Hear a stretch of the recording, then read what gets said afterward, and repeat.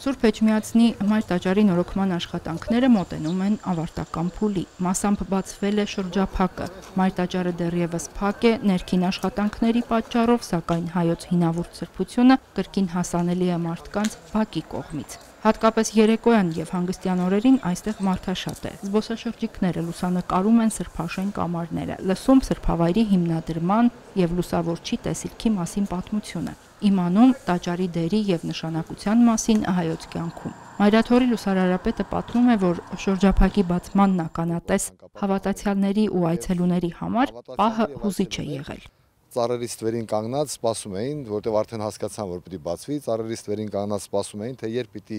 փոքրիկ մի արանք ավելի բաց լինի, որպեսզի կարողանա մոտենալ։ Եվ երբ այդ ցանկապատի այդ մի քանի հատվածները հանվեցին, անվտանգության կանոնները պահելով այդ մարդիկ եւ հավատացյալները մոտեցան եւ առաջին իսկ պահին, երբ որ դիպչում էին մայրտաճարի պատերին, խաչակնքում էին, գլուխները հենում եւ աղոթքի կանգնում Հիմնանորոգման մեջ գտնվող տաճարի շրջակայքը փակվել էր մոտ 3 տարի առաջ։ Այդ ընթացքում հիմնովին բարեկարգվել է հարակից տարածքը, փոխվել է սալահատակը։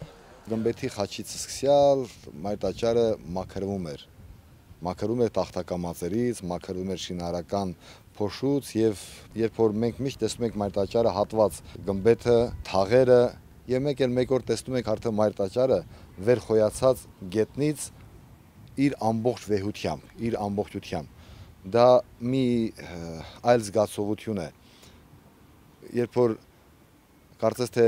փակված, բանտարկված մի բան ներկայանում է արդեն նորովի ազատ իր ճախրանքով, իր թևերով, իր սլացկով, իր ամեն ինչով։ Եվ այսօր մայր տաճարը ինձ համար այդպեսին է ներկայանում։ Տաճարն այժմ փակ է միայն հարավային կողմից։ Այդ մասում դեռ շինարարական աշխատանքները շարունակվում են։ Արևելքից, հյուսիսից եւ արևմուտքից շրջափակն ամբողջությամբ բացվել է։ Շինարարական միակ տախտակամածը այժմ մուտքի կենտրոնական զանգաշտարակի մեծ զանգերի տակ է։ Մարտաճարը նոր թրիչքի է պատրաստվել եւ վստահ եմ, որ յուրաքանչյուր ուխտավոր, յուրաքանչյուր այցելու դեպի Սուրբ Էջմիածին պատրաստ է Սուրբ Էջմիածնի մայր տաճարի հետ այդ